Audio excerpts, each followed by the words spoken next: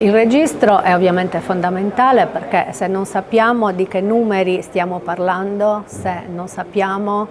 eh, come sono distribuiti i pazienti, chiaramente non possiamo fare una corretta allocazione delle risorse, in primis della risorsa sangue. Il registro è poi essenziale per una corretta programmazione sanitaria, anche pensando alle nuove terapie che eh, stanno arrivando in questo periodo particolarmente fertile. E la rete è, è fondamentale perché, come dicevo, i pazienti sono seguiti in centri che hanno delle caratteristiche diverse e quindi al momento non hanno tutti le stesse opportunità, perché soprattutto quando diventano grandi la patologia è talmente complessa che necessita di un team multidisciplinare e quindi di percorsi strutturati